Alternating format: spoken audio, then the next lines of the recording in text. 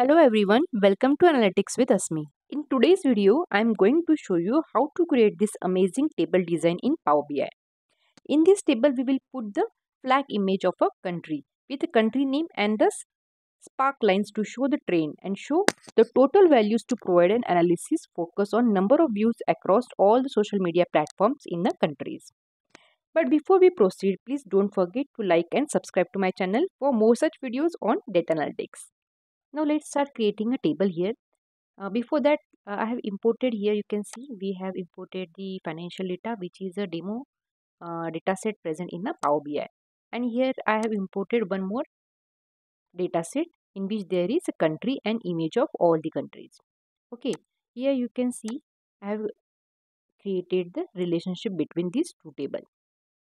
Alright, now let's create a table first. So uh, I will open the new page here and I will go to the build visual here and will go to the table here. And here in the financial I will select the country and the views here. Sum of views. Okay now here you can see I got a country and sum of views here. Now uh, if we go in the model view here you have to make sure that you have to change the data category of this image link. Okay before that what we will do we will add that images to our table. So for that here uh, go to the data here and add the image link here. Now here you can see we are getting the url for the all images for all the countries. Okay now if you want this uh, this as a first column so for that you go to the build visual here and click the right and move it to the top. Okay now here you can see images as a first column then country a second column then views as a third column. Now uh, as you can see here it is in url but here we want an image. So for that what we have to do you go to the data model here and here just click that column okay and go to the properties. And in properties here in the advanced here in the data category you have to change it to the image url okay this is must. You must do this before doing the further formatting. Okay then if you go to the report view now here you can see we are getting the all the flags images here in a table. Now we have to add the sparkline here. Sparkline and the small line charts you can add in a table to give a quick representation of numerical or a statistical information. Okay so for adding that what you can do you you go to the column where you want to add the sparkline then click right here. And here you will get option like add a sparkline just click that. And here in the y-axis it is views because we are uh, in the table we want a views. Then there, there is a summarization of the all views. And for the x-axis you have to select a date here. Okay. Most of the time you have to select here date and just create now here you can see we got a spark line. Now we want spark line to be a third column. So for that again you go here and move it to the up. Okay now here you can see it is it came in a third column. Now you can change the name of all the columns here. So here for the image link for the first column we will write here as a country then for the second column we don't want anything so we'll we'll keep it blank okay? For the third column we want we'll write it here as a trains by date and here we'll write only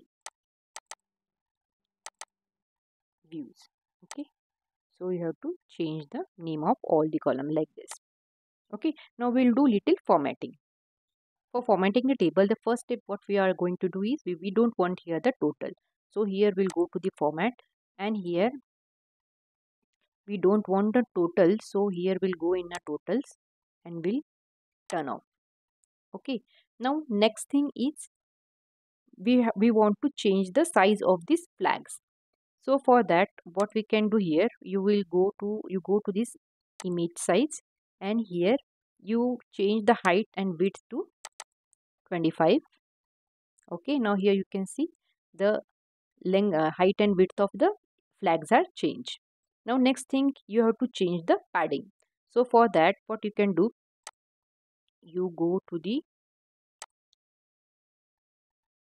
uh, style and uh, size and style. Here in a padding you change this padding to here 15 for each. Okay so i will do it quickly 15 15 and 15 okay now this is done. Now next thing what you have to do we have to change the background of this. So for that again we'll go to the background here and we'll change the background here. Now earlier it was black now we'll keep it as a dark blue. So we'll go to here and we'll take it as a dark blue color. Okay that's it. Now we have to change the values here. Let's zoom it first so that you can see it properly. Okay. We yeah. Now go to the values here. In the values uh, here you can select the font like Segoe UI and make it uh, text color as uh, you can keep it as dark blue and background color also alternate color you can make it blue. And for the column headers also you can change the text color dark blue. Okay make it bold. And if you want to keep it center you can make it as a center here. Then what else we can do here? Here in the visual border to turn it on.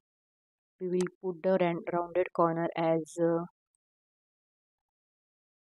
20 20 25 okay? We'll keep a shadow here okay? We'll keep shadow as blue only. And then you have to write the title here. Make a title on and write the title name here as a top countries. Top countries by views okay?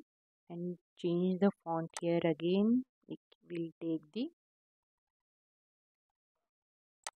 this one and change the color to white. We will add subtitle as well here. I will write the subtitles. Like this analysis focus on number of views across all the social media platforms. Here again we can change the text color here. We'll take it as a orange and you can change it as per your liking and requirement. Now next thing we are going to do go to the styles preset and here you will keep it as a none okay? Now here you can see we are getting the uh, background. We can see uh, it's get changing to blue. Now we have to change the value uh, color of the values for that. Again we'll go to our uh, value section.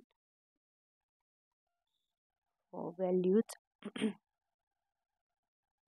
here we'll go to the text. Color we'll change it to white. Okay and or alternate also.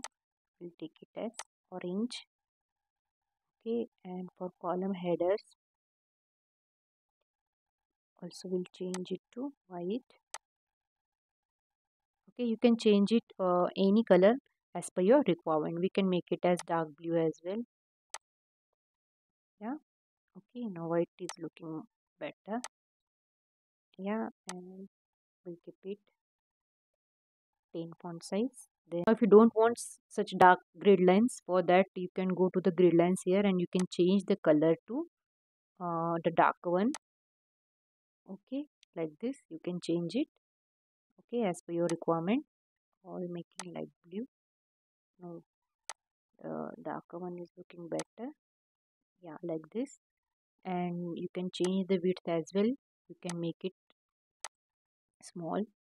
You can keep it as 1 then uh, for the sparkline we can go here in the sparkline and here data color is blue only. You can change here the data color as well. And here in the marker we can select here the highest point. Okay? And we can change the color of that as orange Here sparkline showing the highest value and the color of a marker to inform your users about the available highest or a maximum value in the aggregated data. Like this you can show that. So finally we have completed our table. Okay. So table and matrix are the powerful visualization in Power BI and when you add the context and purpose it, it will absolutely give you the better visibility and additional information to your report users. So uh, hope you understood how to create it. For more such videos, please don't forget to subscribe to my channel. See you in the next video. Thank you for watching.